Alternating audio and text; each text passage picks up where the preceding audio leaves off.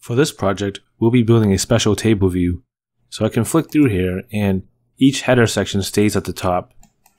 And I can click on this jump bar here to quickly jump to each section. Okay, let's get started.